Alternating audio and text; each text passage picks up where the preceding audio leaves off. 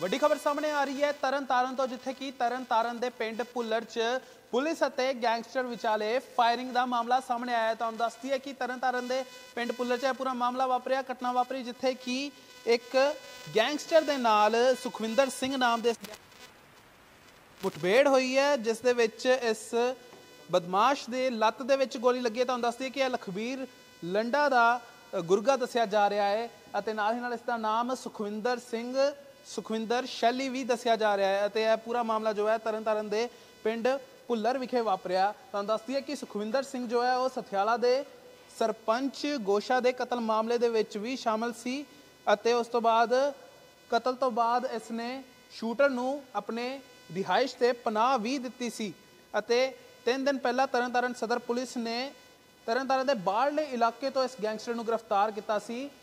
ਅੱਜ ਲੁਕਾ ਕੇ ਰੱਖੇ ਹਥਿਆਰ ਰਿਕਵਰ ਕਰਨ ਲਈ ਜਦ ਪੁਲਿਸ ਸ਼ੈਲੀ ਦੇ ਨਾਲ ਉੱਥੇ ਪਹੁੰਚਦੀ ਹੈ ਤਾਂ ਉੱਥੇ ਸ਼ੈਲੀ ਇਹਨਾਂ ਦੇ ਉੱਤੇ ਫਾਇਰਿੰਗ ਕਰ ਦਿੰਦਾ ਹੈ ਅਤੇ ਜਵਾਬੀ ਕਾਰਵਾਈ ਵਿੱਚ ਪੁਲਿਸ ਦੀ ਗੋਲੀ ਗੈਂਗਸਟਰ ਸੁਖਵਿੰਦਰ ਸਿੰਘ ਉਰਫ ਸ਼ੈਲੀ ਦੀ ਲੱਤ ਤੇ ਜਗ ਜਾਂਦੀ ਹੈ। ਤਾਂ ਵੱਡੀ ਖਬਰ ਤੁਹਾਨੂੰ ਇਸ ਵੇਲੇ ਦੱਸ ਰਹੇ ਹਾਂ ਜੋ ਕਿ ਤਰਨਤਾਰਨ ਤੋਂ ਸਾਹਮਣੇ ਆ ਰਹੀ ਹੈ। ਤਰਨਤਾਰਨ ਦੇ ਵਿੱਚ, ਤਰਨਤਾਰਨ ਦੇ ਪਿੰਡ ਪੁੱਲਰ ਵਿਖੇ ਗੈਂਗਸਟਰ ਅਤੇ ਪੁਲਿਸ ਵਿਚਾਲੇ ਹੈ ਫਾਇਰਿੰਗ ਦਾ ਜੋ ਮਾਮਲਾ ਹੈ ਉਹ ਸਾਹਮਣੇ ਆਇਆ ਹੈ ਅਤੇ ਇਸ ਪੂਰੇ ਮਾਮਲੇ ਦੇ ਦੌਰਾਨ ਜਵਾਬੀ ਕਾਰਵਾਈ 'ਚ ਪੁਲਿਸ ਗੋਲੀਆਂ ਜਦੋਂ ਚਲਾਉਂਦੀ ਹੈ ਤੇ ਇਸ ਗੈਂਗਸਟਰ ਸੁਖਵਿੰਦਰ ਸਿੰਘ ਦੀ ਲੱਤ ਤੇ ਗੋਲੀ ਲੱਗ ਜਾਂਦੀ ਹੈ। ਵਧੇਰੀ ਜਾਣਕਾਰੀ ਲਈ ਮੇਰੇ ਸਹਿਯੋਗੀ ਗਗਨ ਸਾਡੇ ਨਾਲ ਫੋਨ ਲਾਈਨ ਤੇ ਜੁੜੇ ਨੇ। ਗਗਨ, ਕਿਸ ਵੇਲੇ ਦੀ ਇਹ ਪੂਰੀ ਘਟਨਾ ਹੈ ਤੇ ਇਸ ਵੇਲੇ ਉੱਥੇ ਦੇ ਕੀ ਹਾਲਾਤ ਬਣੇ ਹੋਏ ਹਨ? ਤੁਹਾਡੇ ਵੱਲੋਂ ਐਸਐਸਪੀ ਦੇ ਨਾਲ ਗੱਲ ਵੀ ਕੀਤੀ ਗਈ ਹੈ। ਦੇਖੋ ਪ੍ਰਿਆੰਸ਼ੂ, ਇਹ ਮੇ- ਹੁਣ ਤੋਂ ਕੁਝ ਡੇਢ ਕੁ ਘੰਟਾ ਪਹਿਲਾਂ ਦਾ ਇੱਕ ਇਨਸੀਡੈਂਟ ਹੈ। ਸੁਖਵਿੰਦਰ ਸਿੰਘ ਏਲੀਅਸ ਸ਼ੈਲੀ ਨਾਮ ਦਾ ਗੈਂਗਸਟਰ ਸੀ, ਜੋ ਪੁਲਿਸ ਨੇ ਦਾਵਾ ਕੀਤਾ ਹੈ, ਇਹ ਸਤਾ ਨਸ਼ਹਿਰਾ ਲੰਡਾ ਹਰੀਕੇ ਤੇ ਇੱਕ ਹੋਰ ਜਿਹੜਾ ਸਾਥੀ, ਇਹਨਾਂ ਦਾ ਜਿਹੜਾ ਗਰੁੱਪ ਚੱਲਦਾ ਹੈ, ਇਹਨਾਂ ਦਾ ਇਹ ਮੈਂਬਰ ਦੱਸਿਆ ਜਾਂਦਾ ਹੈ ਔਰ ਇਸ ਦੇ ਉੱਪਰ ਦੋਸ਼ ਹੈ ਕਿ ਤਰਨਤਾਰਨ ਜਿਹੜਾ ਸਟਿਆਲਾ, ਅੰਮ੍ਰਿਤਸਰ ਜ਼ਿਲ੍ਹੇ ਦੇ ਸਟਿਆਲਾ ਵਿਖੇ ਇੱਕ ਸਾਬਕਾ ਸਰਪੰਚ ਤੇ ਕਾਰਤੀ ਦਾ ਜਿਹੜਾ ਦਿਨ ਦਿਹਾੜੇ ਕਤਲ ਹੋਇਆ ਸੀ, ਉਸ ਦੇ ਵਿੱਚ ਜਿਹੜੇ ਸ਼ੂਟਰ ਸੀ, ਉਹਨਾਂ ਨੂੰ ਇਸ ਨੇ ਪਨਾਹ ਦਿੱਤੀ ਸੀ।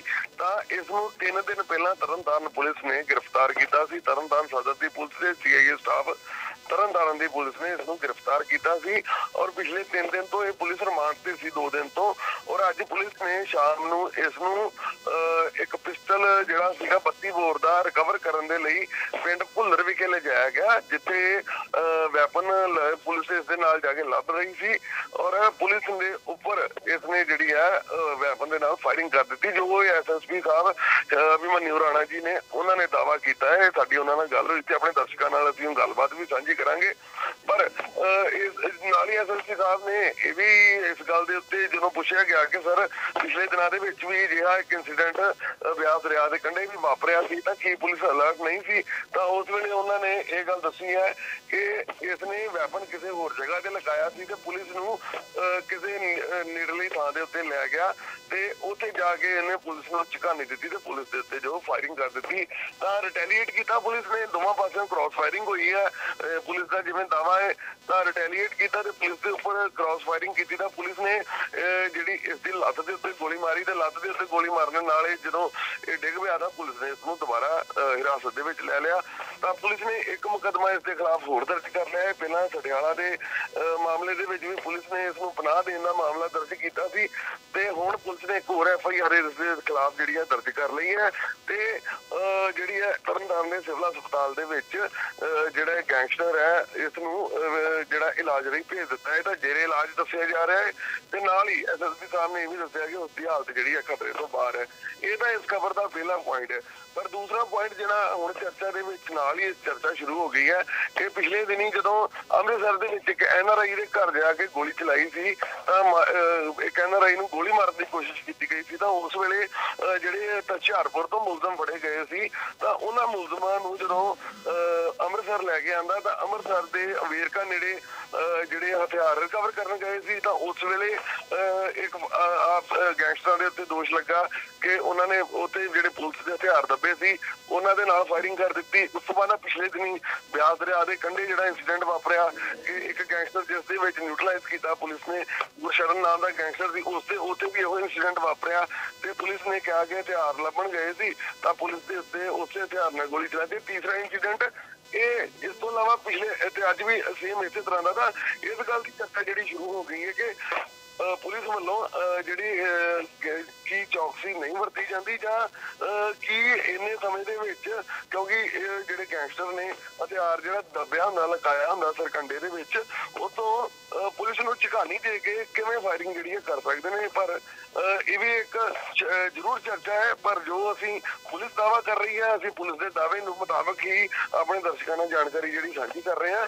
ਕਿ ਅਭਿਮਨਿਊ ਰਾਣਾ ਜੀ ਆਈਪੀਐਸ ਐਸਐਸਪੀ ਤਰਨਤਾਰਨ ਉਹਨਾਂ ਨੇ ਸਾਫ਼ ਤੌਰ ਤੇ ਕਿਹਾ ਹੈ ਅੰਮ੍ਰਿਤਸਰ ਦੇ ਡੀਸੀਪੀ ਉਹ ਕ੍ਰਾਈਮ ਵੀ ਰਹੇ ਨੇ ਏਡੀਸੀਪੀ ਵੀ ਅੰਮ੍ਰਿਤਸਰ ਦੇ ਰਹੇ ਨੇ ਤਾਂ ਤਜਰਬਾ ਉਹਨਾਂ ਨੂੰ ਕਾਫੀ ਹੈ। ਉਹਨਾਂ ਨੇ ਇਸ ਗੱਲ ਦੀ ਜਿਹੜੀ ਹੈ ਪੁਸ਼ਟੀ ਕੀਤੀ ਹੈ ਕਿ ਜੋ ਅਹ, ਇੱਕ 32 ਬੋਰ ਦਾ ਪਿਸਟਲ ਸੀ ਜੋ ਇਸ ਨੂੰ ਉੱਥੇ ਰਿਕਵਰ ਕਰਨ ਗਏ ਤਾਂ ਪੁਲਿਸ ਦੇ ਉੱਤੇ ਝਕਾਨੀ ਦੇ ਕੇ ਇਸਨੇ ਫਾਇਰਿੰਗ ਕਰ ਦਿੱਤੀ। ਤਾਂ ਸਰਪੰਚ ਜਿਹੜਾ ਗੋਸ਼ਾ ਸੀ ਇਸ ਦੇ ਤਿੰਨ ਮੁਲਜ਼ਮ ਜਿਹੜੇ ਸੀ ਉਹ ਅੰਮ੍ਰਿਤਸਰ ਸਿਟੀ ਪੁਲਿਸ ਨੇ ਅੰਮ੍ਰਿਤਸਰ ਰੂਰਲ ਪੁਲਿਸ ਨੇ ਗ੍ਰਿਫਤਾਰ ਕਰ ਲਏ ਸੀ। ਤਾਂ ਇਸੇ ਕੇਸ ਦੇ ਵਿੱਚ ਤਰਨ ਤਰਨਤਾਰਨ ਸਦਰ ਪੁਲਿਸ ਨੇ ਸੁਖਵਿੰਦਰ ਨਾਮ ਦਾ ਜਿਹੜਾ ਗੈਂਗਸਟਰ ਸੀ ਏਲੀਅਸ ਸ਼ੈਲੀ ਇਸ ਦੀ ਵੀ ਇਸ ਨੂੰ ਜਿਹੜਾ ਗ੍ਰਿਫਤਾਰ ਕੀਤਾ ਸੀ ਤੇ ਇਸ ਦੇ ਕੋਲੋਂ ਜਿਹੜੀ ਇਸ ਦੀ ਲੱਤ ਦੇ ਉੱਤੇ ਜਿਹੜੀ ਹੈ ਫਾਇਰਿੰਗ ਕ੍ਰਾਸ ਫਾਇਰਿੰਗ ਦੌਰਾਨ ਗੋਲੀ ਚੱਲੀ ਹੈ ਤਾਂ ਅਭਿਮਨਿਊ ਰਾਣਾ ਆਈਪੀਐਸ ਐਸਐਸਪੀ ਤਰਨਤਾਰਨ ਉਹਨਾਂ ਨੇ ਇਹ ਵੀ ਦਾਅਵਾ ਕੀਤਾ ਕਿ ਸਾਰੇ ਮਾਮਲੇ ਦੀ ਜਾਂਚ ਵੀ ਕੀਤੀ ਜਾ ਰਹੀ ਹੈ ਤੇ ਹੋਰ ਵੀ ਜਿਹੜੇ ਇਸ ਇਹਨਾਂ ਦੇ ਗਰੁੱਪ ਦੇ ਜਿਹੜੇ ਗੈਂਗਸਟਰ ਨੇ ਜਾਂ ਹੋਰ ਵੀ ਮੈਂਬਰ ਨੇ ਇਸ ਮਾਮਲੇ ਦੇ ਵਿੱਚ ਜਾਂ ਇਹਨਾਂ ਦੇ ਸਾਥੀ ਨੇ ਉਹਨਾਂ ਦੀ ਭਾਲ ਦੇ ਲਈ ਪੁਲਿਸ ਜਿਹੜੀ ਹੈ ਐਕਟਿਵ ਹੋ ਕੇ ਛਾਪੇਮਾਰੀ ਜਿਹੜੀ ਹੈ ਉਹ ਕਰ ਰਹੀ ਹੈ। ਤਾਂ ਇਹ ਪੁਲਿਸ ਦੀ ਇੱਕ ਵੱਡੀ ਕਾਰਵਾਈ ਰਹੀ ਹੈ। ਜੀ, ਤਮਾਮ ਜਾਣਕਾਰੀ ਲਈ ਧੰਨਵਾਦ ਗਗਨ, ਤਮਾਮ ਜੋ ਤੁਸੀਂ ਮੁੱਦੇ ਚੁੱਕੇ ਇਸ ਦੇ ਵਿੱਚ ਅਹਿਮ ਮੁੱਦਾ ਚੁੱਕਿਆ ਹੈ, ਉਹ ਹੈ ਪੁਲਿਸ ਦੀ ਚੌਕਸੀ ਦਾ ਕਿ ਪੁਲਿਸ ਕੀ ਇਹਨਾਂ ਘਟਨਾਵਾਂ ਦੇ ਵਿੱਚ ਚੌਕਸੀ ਨਹੀਂ ਵਰਤ ਰਹੀ ਸੀ, ਕਿਉਂਕਿ ਬੀਤੇ ਦਿਨੇ ਵੀ ਇਹੋ ਜਿਹੇ ਕਈ ਮਾਮਲੇ ਸਾਹਮਣੇ ਆਏ ਨੇ, ਜਿੱਥੇ ਕਿ ਰਿਕਵਰੀ ਵਾਸਤੇ ਪੁਲਿਸ ਜਾਂਦੀ ਹੈ ਅਤੇ ਜਿਸ ਤੋਂ ਬਾਅਦ ਜੋ ਗੈਂਗਸਟਰ ਹੁੰਦੇ ਨੇ, ਜੋ ਆਰੋਪੀ ਹੁੰਦੇ ਨੇ, ਉਹ ਉੱਥੋਂ ਦੀ ਲੁਕੀ ਹੋਈ ਪਿਸਤੌਲ ਜਾਂ ਕੋਈ ਵੀ ਹਥਿਆਰ ਕੱਢਦੇ ਨੇ ਅਤੇ ਪੁਲਿਸ ਦੇ ਉੱਤੇ ਹੀ ਫਾਇਰਿੰਗ ਜੋ ਹੈ ਸ਼ੁਰੂ ਕਰ ਦਿੰਦੇ ਨੇ। ਲੇਕਿਨ ਉਸ ਵਿਚਾਲੇ ਹੀ ਵੱਡੀ ਖਬਰ ਹੈ ਕਿ ਤਰਨਤਾਰਨ ਦੇ ਪਿੰਡ ਪੁੱਲਰ ਤੇ ਇਹ ਪੂਰਾ ਵਾ- ਵਾਰਤਾ ਜੋ ਹੈ ਵਾਪਰਿਆ ਹੈ ਤੇ ਬਦਮਾਸ਼ ਸੁਖਵਿੰਦਰ ਸ਼ੈਲੀ ਦੀ ਲੱਤ ਤੇ ਗੋਲੀ ਲੱਗੀ ਹੈ ਤੇ ਇਸ ਵੇਲੇ ਉਹ ਸਿਵਲ ਹਸਪਤਾਲ ਤਰਨਤਾਰਨ ਵਿਖੇ ਜੇਰੇ ਇਲਾਜ ਹੈ। ਇਸ ਪੂਰੇ ਮਾਮਲੇ ਨੂੰ ਲੈ ਕੇ ਮੇਰੇ ਸਹਿਯੋਗੀ ਗਗਨ ਵੱਲੋਂ ਐਸਐਸਪੀ ਤਰਨਤਾਰਨ ਅਭਿਮਨਿਊ ਰਾਣਾ ਦੇ ਨਾਲ ਗੱਲਬਾਤ ਵੀ ਕੀਤੀ ਗਈ ਹੈ। ਉਹ ਗੱਲਬਾਤ ਵੀ ਤੁਹਾਨੂੰ ਸੁਣਾਵਾਂਗੇ। ਸੁਣੋ ਕੀ ਕਿਹਾ ਐਸਐਸਪੀ ਅਭਿਮਨਿਊ ਰਾਣਾ ਨੇ ਇਸ ਪੂਰੇ ਮਾਮਲੇ ਦੇ ਉੱਤੇ। ਤਾਂ ਸਾਡੇ ਨਾਲ ਇਸ ਵਕਤ ਤਰਨਤਾਰਨ ਦੇ ਐਸਐਸਪੀ ਅਭਿਮਨਿਊ ਰਾਣਾ ਜੀ ਆਈਪੀਐਸ ਨੇ ਹਾਲ ਹੀ ਦੇ ਵਿੱਚ ਉਹਨਾਂ ਨੇ ਚਾਰਜ ਲਿਆ ਹੈ। ਕ੍ਰਾਈਮ ਦੇ ਉੱਤੇ ਲੰਬਾ ਸਮਾਂ ਉਹਨਾਂ ਨੇ ਵੱਖ-ਵੱਖ ਜ਼ਿਲ੍ਹਿਆਂ 'ਚ ਕੰਮ ਕੀਤਾ ਹੈ। ਤੇ ਅਭਿਮਨਿਊ ਰਾਣਾ ਜੀ ਅੱਜ ਪਿੰਡ ਭੁੱਲਰ ਵਿਖੇ ਇੱਕ ਐਨਕਾਊਂਟਰ ਹੋਇਆ ਪੁਲਿਸ ਦਾ। ਉਸ ਦੇ ਵਿੱਚ ਕੀ ਅਪਡੇਟ ਹੈ ਸਰ ਹਾਂਜੀ ਇਹ ਸੁਖਵਿੰਦਰ ਸਿੰਘ ਉਰਫ ਕਾਕਾ ਛੱਲੀ ਸੀਗਾ ਜੀ। ਇਹ ਜੈਸਲ ਚੰਬਲ ਉਹਦਾ ਐਸੋਸੀਏਟ ਸੀ। ਜੀ। ਤੇ ਇਹ ਸਾਡੇ ਕੋਲ ਪੁਲਿਸ ਰਿਮਾਂਡ ਤੇ ਸੀਗਾ। ਅੱਜ ਸਦਰ ਤਰਨਤਾਰਨ ਦੀ ਪੁਲਿਸ ਇਹਨੂੰ ਰਿਕਵਰੀ ਕਰਾਉਣ ਵਾਸਤੇ ਬੁੱਲਰ ਪਿੰਡ ਦੇ ਕੋਲ ਨਹਿਰ ਹੈਗੀ ਆ ਉੱਥੇ ਲੈ ਕੇ ਗਈ ਸੀਗੀ। ਤੇ ਉੱਥੇ ਇਹਨੇ ਮੌਕੇ ਦਾ ਫਾਇਦਾ ਚੱਕ ਕੇ ਪੁਲਿਸ ਤੇ ਫਾਇਰਿੰਗ ਕੀਤੀ ਤੇ ਜਵਾਬੀ ਕਾਰਵਾਈ 'ਚ ਇਹਦੇ ਵੀ ਲੱਤ ਤੇ ਗੋਲੀ ਲੱਗੀ ਆ। ਇਹ ਸਰ ਇਹਨੂੰ ਅਰੈਸਟ ਕਿੱਥੋਂ ਕੀਤਾ ਸੀ ਸੁਖਵਿੰਦਰ ਸ਼ੈਲੀ ਨੂੰ? ਇਹਨੂੰ ਇਹ ਸਾਡੇ ਕੋਲ ਪੁਲਿਸ ਤੇ ਰਿਮਾਂਡ ਤੇ ਸੀਗਾ ਤਿੰਨ ਦਿਨ ਇਹਨੂੰ ਤਰਨਤਾਰਨ ਤੋਂ ਹੀ ਅਰੈਸਟ ਕੀਤਾ ਸੀਗਾ। Okay okay. ਇਹ ਪਹਿਲਾ ਅਗਸਤ ਮਹੀਨੇ ਦੇ ਵਿੱਚ ਤਰਨਤਾਰਨ 'ਚ ਦੋ ਫਾਇਰਿੰਗ ਇਨਸੀਡੈਂਟ ਹੋਏ ਸੀਗੇ 9 ਜੀ। ਅਗਸਤ ਤੇ 10 ਅਗਸਤ ਨੂੰ। ਰਾਈਟ ਸਰ ਉਹ ਇਹਨੇ ਰੈਂਸਮ ਐਕਸਟੋਰਸ਼ਨ ਦੇ ਜਿਹੜੇ ਪੈਸੇ ਮੰਗੇ ਸੀਗੇ ਉਹਦੇ ਚੱਕਰ 'ਚ ਘਰ ਦੇ ਬੂਹੇ ਤੇ ਜਾ ਕੇ ਗੋਲੀਆਂ ਚਲਾਈਆਂ ਸੀਗੀਆਂ। ਜੀ ਸਰ ਇਹ ਜਿਹੜਾ ਇਹਨਾਂ ਦਾ ਕਨੈਕਸ਼ਨ ਸਤਾ ਨਸ਼ਹਿਰਾ ਵਾਲੇ ਗੈਂਗ ਨਾਲ ਵੀ ਸੀਗਾ ਜੀ? ਹਾਂਜੀ ਇਹ ਜਿਹੜਾ ਸੱਤਾ ਨਸ਼ਹਿਰਾ ਲੰਡਾ ਹਰੀਕੇ ਤੇ ਜੈਸਲ ਚੰਬਲ ਉਹਨਾਂ ਦੇ ਇੱਕ ਕੀ ਐਸੋਸੀਏਟ ਸੀਗਾ। ਓਕੇ ਜਿਹੜਾ ਸਠਿਆਲੇ ਵੀ ਮਰਡਰ ਹੋਇਆ ਸੀਗਾ ਉਹਦੇ ਵਿੱਚ ਵੀ ਇਹਨੇ ਜਿਹੜੇ ਉਹਦੇ ਵਿੱਚ ਸ਼ੂਟਰ ਸੀਗੇ ਮੇਨ ਉਹਨਾਂ ਨੂੰ ਪਨਾਹ ਦੇਣ ਦੇ ਵਿੱਚ ਵੀ ਸ਼ਾਮਿਲ ਸੀ। ਓਕੇ ਜਿਹੜਾ ਪਿੰਡ ਸਟਿਆਲਾ ਦੇ ਵਿੱਚ ਹਾਲ ਹੀ ਦੇ ਵਿੱਚ ਸਰਪੰਚ ਗੋਸੇ ਦਾ ਕਤਲ ਹੋਇਆ ਸੀਗਾ ਜੀ। ਹਾਂਜੀ ਹਾਂਜੀ ਬਿਲਕੁਲ ਜੀ ਬਿਲਕੁਲ। ਤਾਂ ਸਰ ਇਹਦੇ ਫਿਰ ਕਿਹੜਾ ਵੈਪਨ ਸੀਗਾ ਇਹਨੇ ਜਦੋਂ ਵੈਪਨ ਰਿਕਵਰ ਕਰਾਉਣ ਗਏ ਤਾਂ ਕਿਹੜਾ ਵੈਪਨ ਸੀਗਾ ਉੱਤੇ? ਬੱਤ- 32 ਬੋਰ ਦਾ ਪਿਸਟਲ ਸੀਗਾ ਜੀ 32 ਬੋਰ। ਓਕੇ ਸਰ ਤੇ ਇਹ ਪਤਾ ਲੱਗਾ ਇਹਨੇ ਮੰਗਵਾਇਆ ਕਿੱਥੋਂ ਸੀਗਾ ਔਰ ਉੱਤੇ ਛਪਾਇਆ ਕਿੱਥੇ ਸੀਗਾ ਸਾਰੇ ਇਹਨੇ ਉੱਥੇ ਸਰਕੰਡੇ ਦੇ ਵਿੱਚ ਛੁਪਾਇਆ ਹੋਇਆ ਸੀਗਾ। ਨਹਿਰ। ਦੇ ਨਾਲ ਬੜੇ ਬੜੇ ਸਰਕੰਡੇ ਹੈਗੇ ਆ ਉੱਥੇ ਇਹਨੇ ਛੁਪਾ ਕੇ ਰੱਖਿਆ ਹੋਇਆ ਸੀਗਾ ਦਰਖਤ ਲਾਗੇ ਤੇ ਸਰ ਆਪਣੀ ਸੀਆਈ ਦੀ ਟੀਮ ਸੀ ਜਾਂ ਤਰਨਤਾਰਨ ਸਦਰ ਦੀ ਟੀਮ ਸੀ? ਇਹ ਸ- ਸਦਰ ਤਰਨਤਾਰਨ ਤੇ ਸੀਆਈਏ ਦੀ ਟੀਮ ਦੋਵੇਂ ਇਨਵੋਲ ਤਾਂ ਰਣ ਜੀ ਕਿਸੇ ਪੁਲਿਸ ਮੁਲਾਜ਼ਮ ਦੇ ਉੱਤੇ ਤਾਂ ਨਹੀਂ ਗੋਲੀ ਲੱਗੀ? ਕਿਸੇ ਦੀ ਬਚਾ ਰਿਹਾ ਜੀ? ਨਹੀਂ ਪੁਲਿਸ ਨੇ ਜਿਹੜੇ ਨੇ ਫਾਇਰ ਤਾਂ ਜ਼ਰੂਰ ਕੀਤਾ ਬਟ ਪੁਲਿਸ ਦਾ ਬਚਾਅ ਹੋ ਗਿਆ ਜੀ। ਇਹ ਦੱਸ ਸਕਦੇ ਦੋਵੇਂ ਪਾਸੋਂ ਕਿੰਨੀਆਂ ਗੋਲੀਆਂ ਚੱਲੀਆਂ ਹੋਣਗੀਆਂ ਜੀ? ਇਹ ਇਹਨੇ ਪੁਲਿਸ ਦੇ ਵੱਲ ਦੋ ਫਾਇਰ ਕੀਤੇ। ਤੇ ਮੁੜ। ਕੇ ਜਵਾਬੀ ਕਾਰਵਾਈ 'ਚ ਪੁਲਿਸ ਨੇ ਇੱਕ ਫਾਇਰ ਕੀਤਾ ਉਹ- ਉਹਦੇ ਤੇ ਜ਼ਖਮੀ ਹੋ ਗਿਆ ਸਰ ਇਹ ਵੈਸੇ ਤੁਸੀਂ ਅਲਰਟ ਸੀਗੇ ਕਿਉਂਕਿ ਪਿਛਲੇ ਦਿਨਾਂ ਦੇ ਵਿੱਚ ਬਿਆਸ ਦਰਿਆ ਦੇ ਕੰਢੇ ਵੀ ਜਿਹਾ ਜਦੋਂ ਵੈਪਨ ਕਵਰ ਕਰਨ ਗਏ ਸੀ ਉਦੋਂ ਵੀ ਫਾਇਰਿੰਗ ਹੋਈ ਸੀਗੀ। ਇੱਕ ਇੱਕ ਉੱਥੇ ਵੀ ਨਿਊਟਰਲਾਈਜ਼ ਕਰਤਾ ਸੀ ਗੈਂਗਸਟਰ ਤਾਂ ਅੱਜ ਜਿਹੜੇ ਗੈਂਗਸਟਰ ਜਿਵੇਂ ਰਿਕਵਰ ਕਰਨ ਜਾਂਦੇ ਤਾਂ ਫਾਇਰਿੰਗ ਦੇ ਇਨਸੀਡੈਂਟ ਲਗਾਤਾਰ ਹੋ ਰਹੇ ਤਾਂ ਪੁਲਿਸ ਅਲਰਟ ਸੀ ਪਹਿਲਾਂ ਪ੍ਰਿਪੇਅਰ ਸੀ ਜੀ?